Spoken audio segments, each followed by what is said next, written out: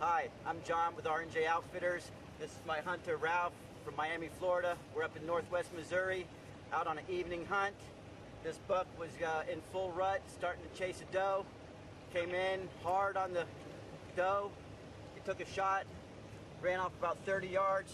Nice shoulder shot, dropped it, ran about 30 yards. Nice nine point typical. Nice buck, his biggest buck that he's ever shot.